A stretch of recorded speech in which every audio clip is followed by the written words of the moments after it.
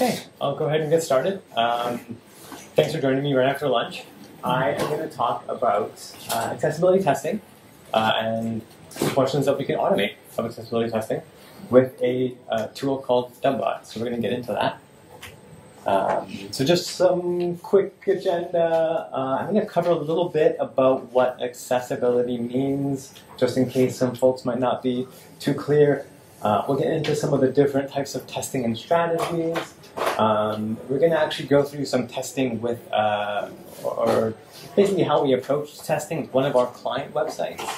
Uh, and um, yeah, then we'll, we'll have hopefully some time for some Q&A afterwards. So first off, uh, who am I? Uh, my name is Jesse. Uh, I am from a, a full-service agency called Evolving Web. Uh, we're based out of uh, Montreal in Canada. Uh, I'm a solutions architect with Evolving Web, and that means I'm involved with the whole process of most of our websites, our new site builds. we have a couple solutions architects on the team, so not just me, but you know, we have a, a big team. Um, I have various experience, about 10 plus years of, as a developer, uh, full stack development experience, um, and worked on various open source platforms, of course, including Drupal. Um, I've been interested and uh, working internally a lot with our team on accessibility for a while now. I've worked with a couple of uh, other on a couple of other initiatives outside as well. I've worked with uh, accessibility talks um, on a webinar a couple months ago with some of our team members and a partner agency. Um, I've done some training uh, internally with Evolving Web and externally with some of our clients, uh, and involved in some audits and just general, you know, helping on our team with accessibility-focused uh, development a bit more about that team first. Um, so we, uh, I'm from Evolving Web, as I mentioned. We are a full-service agency. Um, we really focus on helping to our clients bring their digital experiences to life. Um, setting their stories in motion, you'll see that we have a nice big booth outside that says that same thing. It's kind of our, our current uh, um, um, you know, way of, of thinking about things. Uh, expanding their digital platforms for growth. These are just a couple of the uh, different uh, companies and projects that we've worked on. Uh, we do work a lot in the higher ed and government space, some finance, a lot of those sort of that style of institution. Um, so we're a team of about, at this point, about 85 people. Um, we've been working with Drupal for, I think it's about 18 years now, so a long time. Uh, our founders are pretty heavily involved in the community. You'll see them around especially uh, uh, little ones, Sophia, little, little, baby of, of Suzanne and Alex. So, now let's get into accessibility. So, as I mentioned before we really get into it, I do want to sort of take a step back, uh, make sure that what I'm going to get through is going to end up being understandable for everybody, and then we sort of set the baseline of what, what I'm talking about, what accessibility is. Um, so, first, before that, uh, who sort of has an idea of what I mean when I say accessibility, and specifically as it relates to websites. Okay, so not, not quite everybody. So that's that, that's good. We have, we have an opportunity to, to make sure some folks are, are aware of what this is talking about. Um, so who manages of those people perhaps? Who manages a website or is involved in content on the website that has certain accessible requirements? A lot of you. Awesome. Great. Uh, and who has done some forms of accessibility testing on websites. Okay, okay, a lot of you. uh, finally, has anyone done a full accessibility audit of a, of a site? Okay, okay, okay, okay, good. That helps me to know sort of who I'm who I'm speaking to. Oops, went ahead there. So for those of you that don't know what accessibility is, it's really the idea of treating everybody the same on a website um, in the same way that we wouldn't create and build a new building today without certain accessible features, like say um, accommodating wheelchair users. Um, we wouldn't do the same for, for a, a, website. We wouldn't want to build a website where somebody who maybe is, is visually impaired can't understand the content. Um, or maybe you know somebody might need to, uh, uh, uh, subtitles to be able to actually understand video content. So these are the kind of things that, that we're thinking about when crafting an accessible website. You, will see this um, sort of I guess it's not an acronym, but sort of a short form of the word accessibility, uh, A11Y. Uh, you see it a lot if you dive into sort of accessible content. Um, it, it, oddly enough, it's kind of an inaccessible uh, phrase unless it is properly explained. So I wanted to take that time to, to explain that, make sure everyone's aware, because you will definitely see that as you if you're just starting this, this, this journey. There's a couple of, of main principles of accessibility. Um, content, websites, etc., need to be uh, perceivable, operable, understandable, and robust. Um, so that's the, the POUR uh, acronym. Uh, perceivable is kind of meaning, as I said earlier, you know, an image for somebody who maybe can't perceive the, the visual image, there should be an alternative for them to, to perceive the content. It's a common one that we hear with alt uh, attributes, alt tags.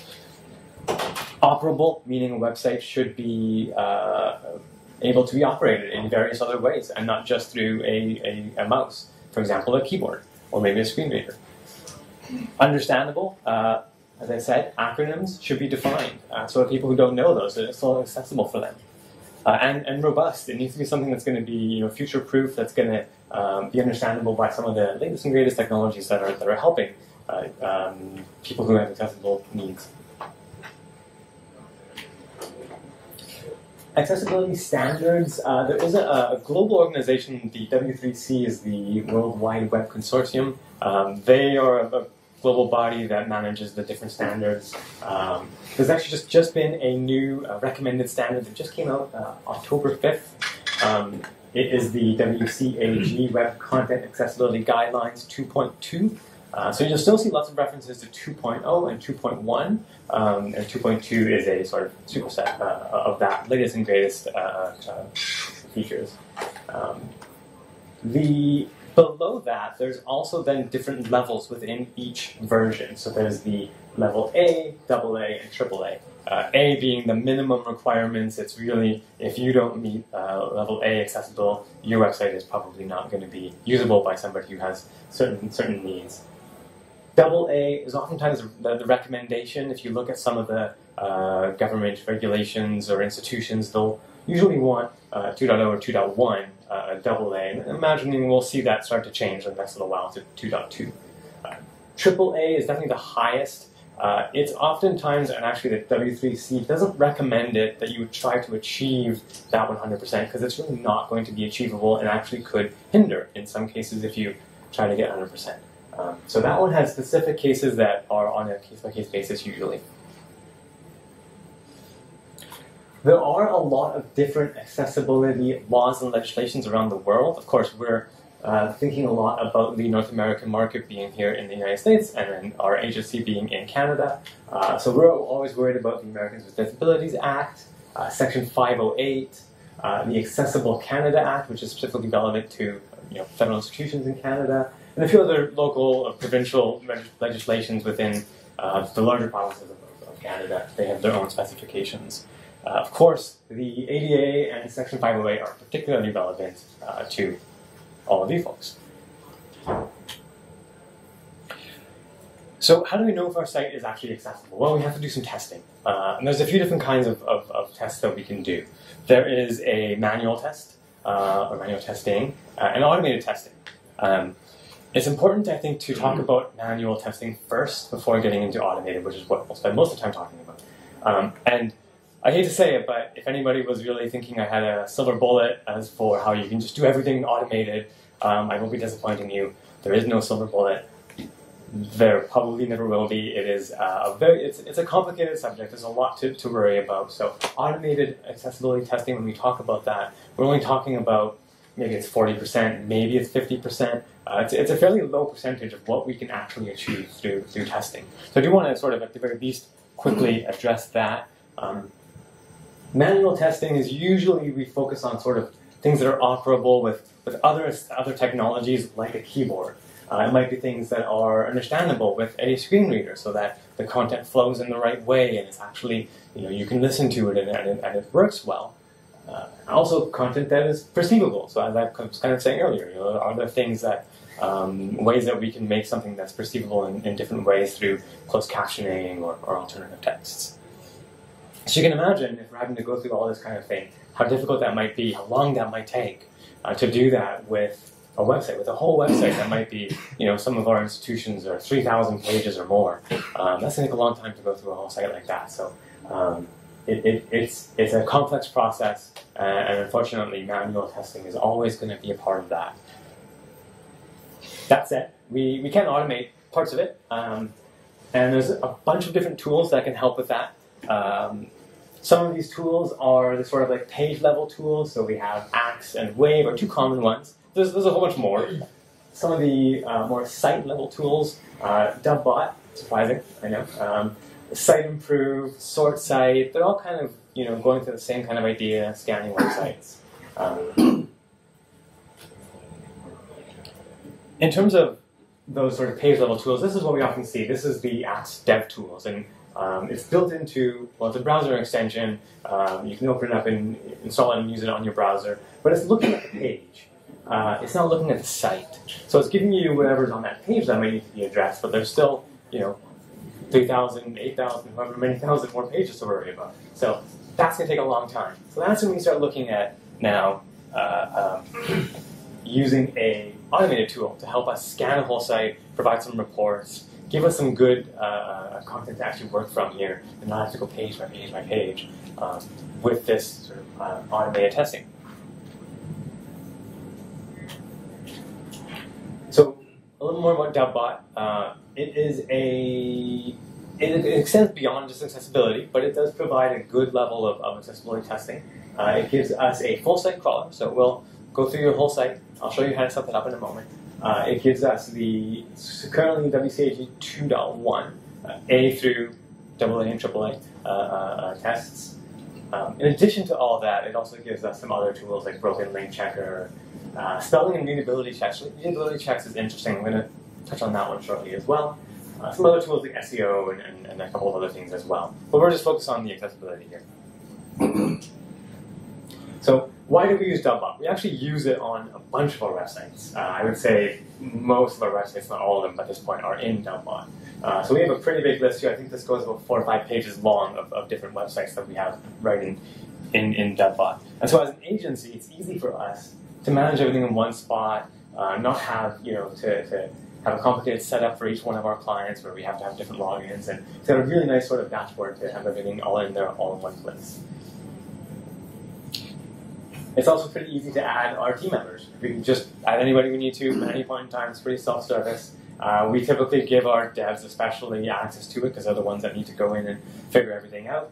Um, and it's just nice to be able to have everything all, all in one spot. It's also being a, being a cloud-based website. It means that a it doesn't need any sort of scripts on the on our client websites, and B everybody can access it from anywhere, uh, any computer. It's uh, just a you know web app. So that makes it really, really easy to, to manage that. There's a bunch of features that now we'll sort of start to get into. Um, I wanted to talk through how we've actually used this on a, a, client site. I think that's a way to sort of you know relate to to uh, to how, how it's used in practice. Uh, so this is uh, a website that we have been working on. It's the Gordie Howe International Bridge, which is actually uh, um, managed by the Windsor Detroit Bridge Authority. Uh, so if you can probably figure that out. It's the bridge between Windsor and Detroit. Um, so it's being rebuilt. Uh, website needed some some updates. So we have uh, we've we've taken it on to to do some various work like some migrations, um, uh, supporting the English and French interface coming from uh, French-speaking part of Canada. Uh, we have that that ability, um, and we did a bit of a design refresh uh, but more, more, most importantly, probably, is the accessibility side of it. As more of a government-funded agency on both sides of the border, there's, there definitely is a need to comply with certain um, accessibility standards. So just another view of the website. We'll be seeing a few different spots here. So how do we actually now use DubBot to test this website? It's actually a, it's a pretty easy setup. Uh, it's a pretty easy process. Uh, when you first add it, you know it's going to run the initial crawl of, of, the entire website, which can take various amounts of time, as you can imagine. If it's a big site, it's going to take longer. Uh, we take all that content back, review it. Um, there's an export functionality. We can prioritize our fixes that we want to prioritize. Uh, not say that any of them are priorities necessarily, but there's always going to be some that are really big wins, easy wins that we can fix much quicker and uh, get those improvements, make a big impact right away. we, we being an agency, we have, of course, issue trackers. We're managing all of that through, through there so we can keep track of everything, keep track of our priorities, our decisions, our discussions. Um, we hand that over to the developers. They make all the remediations and fixes, uh, including potentially content changes, which might end up meaning that we have to work with the, our content team or the client's content team or, or somewhere in between there. And then we validate our results, of course, right? You know, you have to test your, your, your, your work. Um, and we're also monitoring for any changes later. Uh, I'll show you how, to, how, how DubBot makes that a little bit easier as well. So here's a quick uh, overview of the setup. It is pretty simple. It's really just, all it really needs is just a site URL and a site name. So we can give it a, a name and then we can put in the, the URL for the site.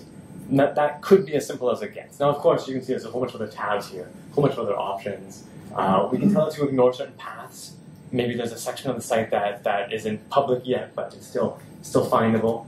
Uh, we, can, we can change the different checks that we have. Of course, again, we're focusing on accessibility, but we can disable or enable some of those other checks, uh, including some of the best practices checks that you would find in there, uh, spell checking, which is really nice if you need custom spell check, uh, and some SEO uh, functionalities as well. Um, one of probably my favorite thing is we really lock down our sites if it's a dev site or a site's not live yet, and it supports that. We can put in username and password for uh, a, a basic auth, um, just a basic authentication system. Um, so there's no need to worry about is the site going to get public? Do we have to unlock it for this tool to work? It's already in there and supported. And you can see we had a number of different versions that we were playing with and setting up here. So when you first set it up, of course, it needs some time to crawl. It's not going to give you results right away. So that's usually you get it set up and you go for a go for a coffee. Um, once it's all done, then we can actually get into what the dashboard looks like. So this is after it's crawled. We see how many issues there are. Everything's in a nice spot. We get some nice visuals to help show us where we're at in terms of the progress. Uh, a whole list of, of the, the, the, initial sort of quick wins that might be the most impactful to fix right away. There's also the, um, the section on reports on the side there, and that's where you can get at the reports that we'll look at later and that we actually use to, to then initiate all of our work the issues list that you can click into from that dashboard is actually pretty comprehensive as well. It's a nice sortable table, of course. Uh, it's really the same thing as what you'll see in the reports, but the nice thing about it is, of course, it's it's an interactive. You know, you can sort by different things. You can then click in, um, but also you can also filter by the different uh, um, levels of, of, of uh, accessibility WCAG requirements. So you can filter by the different, uh, you know, 2.1, uh, AA, AAA, etc. So it makes it easy to sort of break down uh, the, the results that you're looking at and not have to see this, this big list of everything. The page inspector, now this is probably the most powerful thing. This is what, what you'll spend most of the time in if you're trying to, to address some of these issues. Um, it's, it's actually quite powerful because it's, it's, as you can see, it's giving you the overlay of the page on top of the, uh, the, the, results here. Um, and as you sort of go through it, you have different options to see the CSS selectors of the elements that are not compliant, the code itself, which is nice for a developer to be able to see that snapshot at, at that point in time. Um, there's also a direct link to the WCAG uh, success criterion pages, so you don't need to worry about you know, searching for this now. You can click straight on it and get that opened up. Get the information that you need right there, and do this much faster when you're dealing with, you know, potentially hundreds of thousands of pages, it's much easier to see what is this exact issue and how are we going to solve it. You can ignore some rules as well if maybe there's a good reason to do that. That's uh, definitely uh, possible. There's also this ability to create tasks and assign tasks. So if you're working with a team, maybe some of these are content entry issues that need to be addressed. Uh, maybe it's that you have different developers working on this same uh, page and wanting to make it clear who's assigned to what. So that's really nice. We honestly don't use it because we're using our own ticketing system, but I can see how somebody using just this tool would probably get a good benefit out of that. It's really nice to have that sort of control and be able to, uh, uh, you know, assign things and, and know who's working on what.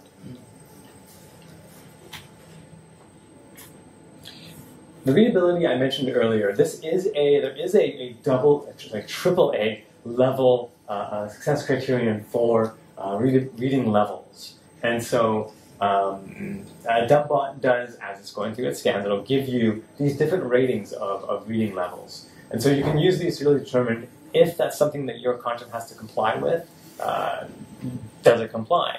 It doesn't get flagged as an actual accessibility issue uh, because it's not oftentimes not something that uh, is um, you know, something that, that you have to comply with. But if that is a requirement for your audience and, and is necessary, uh, we have that option in here as well to, to drill down into that, see what the reading score is, and, and get some more detail about, uh, about that. Some other helpful tools that, that we often use is, of course, being able to see a snapshot of your source code. Because oftentimes, if we're all making changes, a few of the devs are working on something, somebody will change one thing, and then we don't realize that maybe that's already fixed our, our issue. So we can see that snapshot at the point in time and be able to say, okay, well, this is why it's actually already been fixed. Um, we also have the ability to disable CSS, which is really nice. It's it's pretty simple to do that for a developer, but it's nice to have this all in this one wrapped up space uh, because it helps us to verify the, the flow of the document. Is the heading level correct? Um, so disabling the CSS, we see the true heading levels of everything. We can reanalyze or, or refresh the content. So when we've made some changes, we can validate it really quickly right in here, make sure that we've actually fixed that issue, and uh, be ready to go on to the next step. Oops.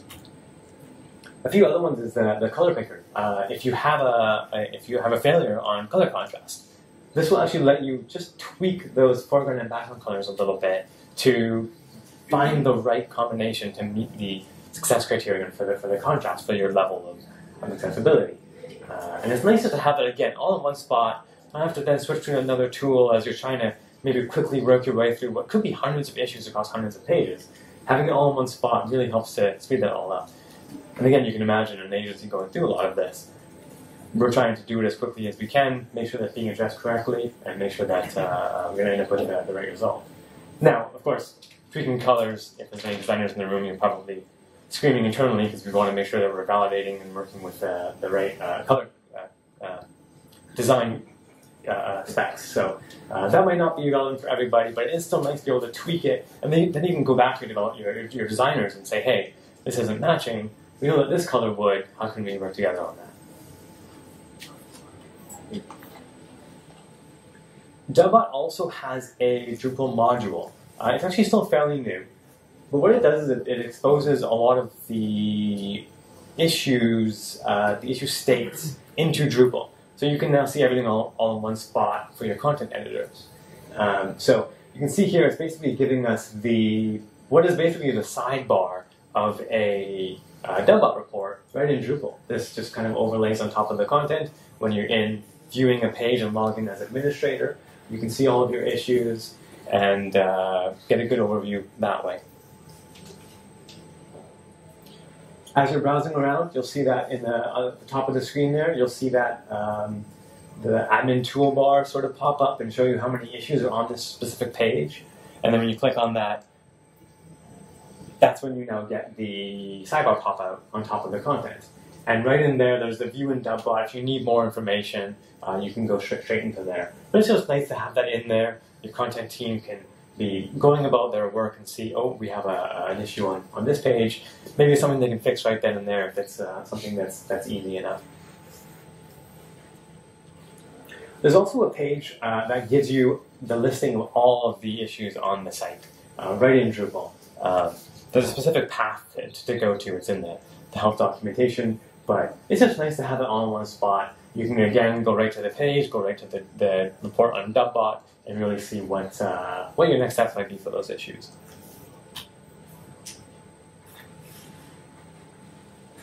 This is the report now. Uh, it's a you know it's just a CSV, which is actually really nice. Again, developer, um, it's nice to be able to get that out and be able to then start to bring it to other places, maybe we want to put it into Google Sheets and do some pivot tables, all that kind of stuff.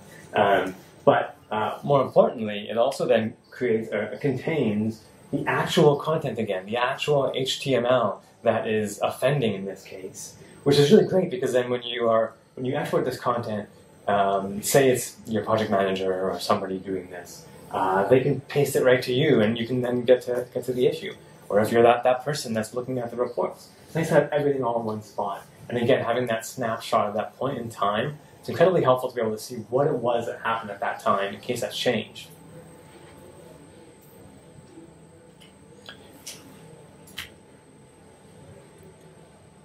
Being a cloud-based service, of course, is going to have some type of emails. So we can get uh, up-to-date emails on how the content is going, what's, um, you know, if there's anything new that's been introduced as maybe content is changing, as code is changing. Uh, so it's nice to be able to get this. Uh, our dev team is watching for these kinds of things. We'll see these reports and, and notice if maybe uh, we introduced a regression in the latest uh, code change, or, or maybe there was some, some content issues that came up in something that, that was recently changed. So uh, having that alerting sort of uh, is uh, you know it's a good way to, to keep on top of everything.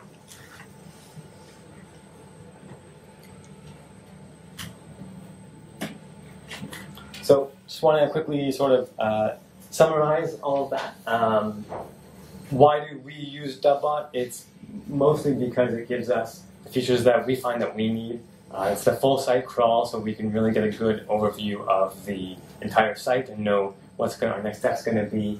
Uh, it's easy for us to manage it for all of our clients and not have to worry about you know them having to get involved in anything. We can take that on and worry about everything on our own. The, the uh, debugging tools, that ability to have the, the, the sidebar highlighting exactly the element on the page, um, getting that snapshot of the code base. It's really nice. The developers really like to, to use that. They all have access to the uh, Dubbot portal itself so that you know they don't have to just rely on that content from that report. They can go right in, inspect everything, figure out the, the right areas.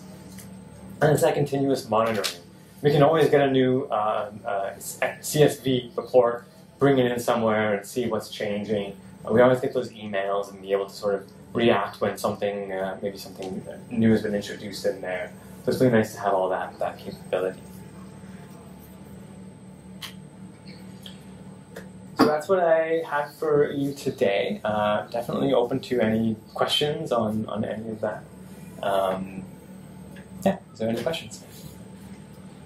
Yes, you can go ahead. Do you know if there's any integration into other like ticketing systems like Jira or stuff like that, where you use Dubbot in and kind of create that task there, but it gets imported into like the system we're using? Yeah, that's a good question. Uh, as far as I know, it does not. Um, there might be a way to automate just the exporting of the CSVs. Um, I don't, I don't know for certain that it has that, but I would imagine that's something that could be uh, a good opportunity there. Um, then you can use that to generate that. But there's no, as far as I know, there's no direct integration with any other ticketing systems. Yeah. That's cool. Yeah. Uh, I think you were the first one afterwards. Uh, couple couple questions actually. Uh, first, um, do you have any experience with Siteimprove? And if so, you, can you kind of uh, give a, uh, a comparison? Um, I have some more specific questions about it too compared to the site group. I just kind of wanting to get your take. I guess the one specific question I have is how how often does it crawl? Like the frequency? Can you get? I know some some experience with Siteimprove. It can be like weeks before turnaround. Ah, yes. Full site report. I'm just curious about frequency Yeah, so uh, it will crawl weekly. Um, I don't recall if there was an option to configure that interval, but there is. In Dubbot, yeah, perfect. Uh, but you can also always go and recrawl whenever you want, uh, both on the page and on the whole site. Um, so that's another feature that we use all the time because we'll make a big sweeping change, say, uh, in a template. We want to see if that actually then, so we can just go and hit recrawl. It's going to take another, you know, hour maybe to give us the full result back, but then we can come back after that and see that our change was effective. Um, so, yeah, in terms of like how it compares in general, um, it is, I would say, one of the, the, the newer uh, products on, on, the market. There might be some features that Dubbot doesn't have that Siteimprove does have. Um, one of the reasons that you know, we, we, we, have used uh, Siteimprove, myself not as deeply, but I've definitely used it for uh, reviewing an audit report. Um, and it has a, lo- uh, a lot of uh, similar features, but um, honestly, part of it comes down to it's, uh, it's a of a pricey solution. Um, so we found that Dubbot is a really good alternative, uh, and uh, the fact that we can manage it all ourselves uh, has really been really nice for us. Yeah. Go ahead. Uh, where do you integrate this into your uh, project workflow? Like, like, what at what point do you kind of point it at a site and say, okay, where are we at? It would usually to to actually take on like a full sort of audit of a, of a site that's say in progress. A little bit later on in the in the build because usually earlier on the, the signal to noise would just be probably way too high. Uh, and we're you know focusing on, on everything else. Uh, we do also use a lot of the sort of single page tools like Axe Dev Tool, for example, uh, and that'll help us as we're doing our actual development to sort of check our work.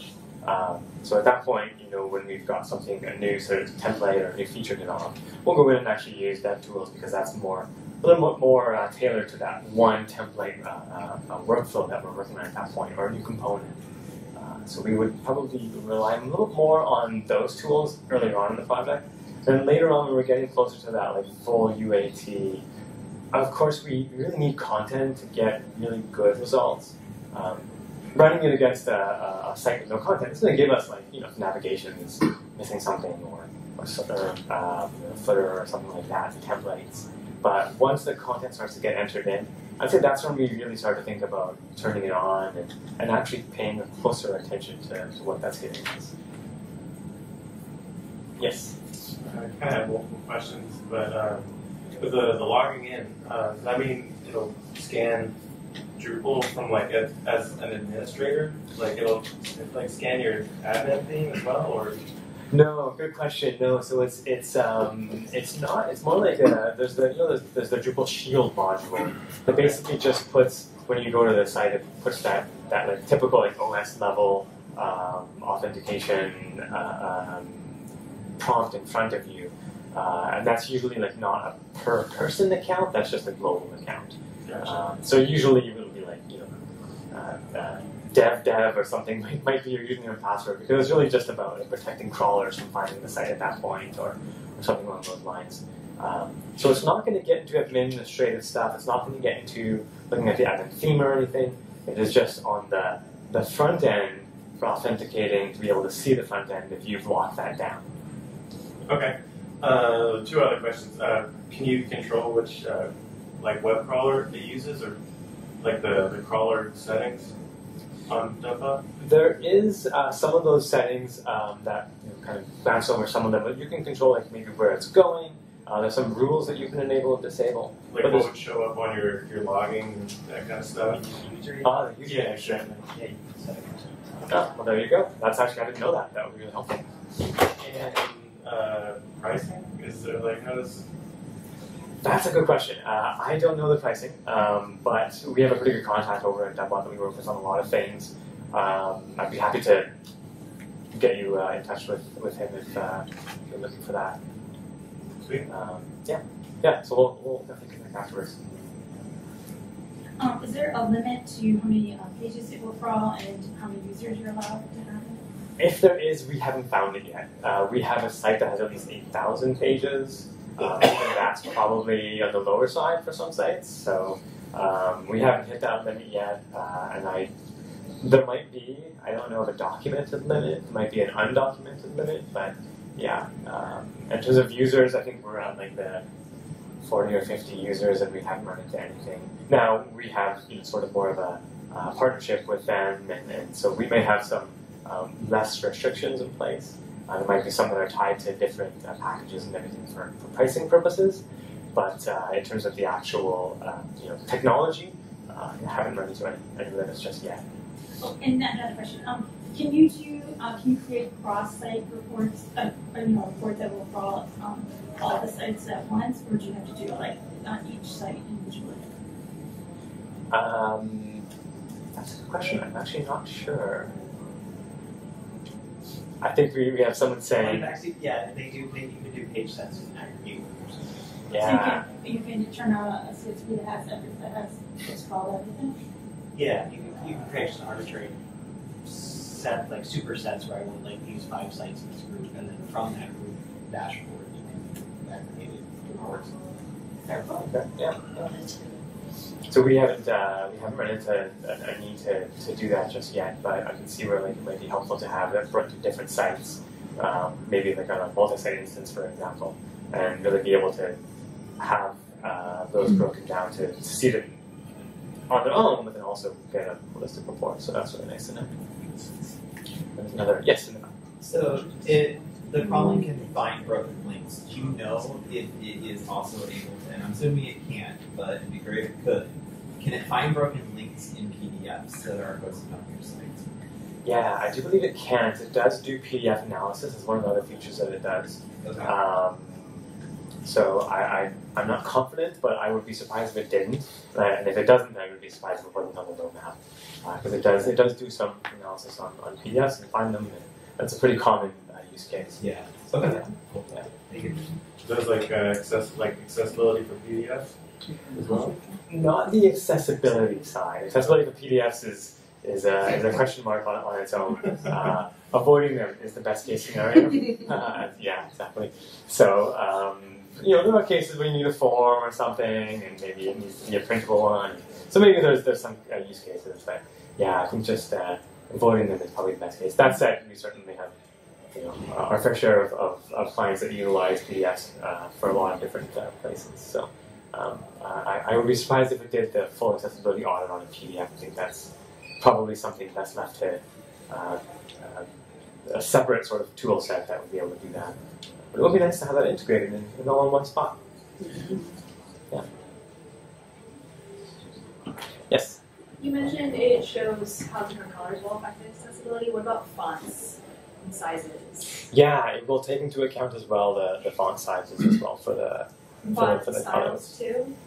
Or not as much? You know, if you have different stylistic for whatever purposes.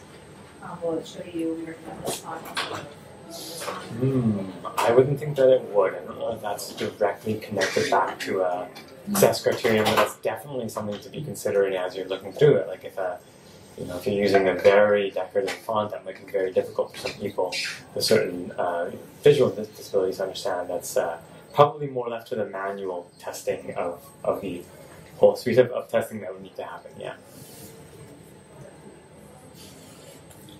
Great. Any other questions there? If not, I'll just uh, uh, mention a couple of things. Um, we do have a booth over, so if you had any questions pop up uh, in the next few hours or tomorrow, feel free to stop by our booth. We have a few people around uh, that are accessibility uh, aware and probably have some answers for you. Uh, we also have a, an Evolve UX uh, design feedback going on upstairs. Uh, next one is at 3 o'clock. Uh, it's not 3 o'clock, I should have known that. Um, uh, and uh, Suzanne Dergacheva, one of our founders, is also doing a creating accessible content in Drupal 10 session later today at 4.15 in the uh, Chevy Chase room.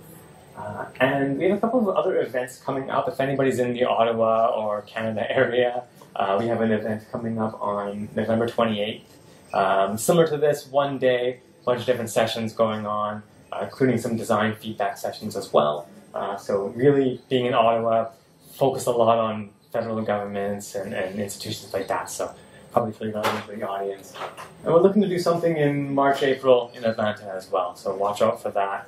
Uh, our websites uh, will be the best place to, to, to keep up with that. Well, thank you so much, everybody. Thanks for, for coming. and. Uh,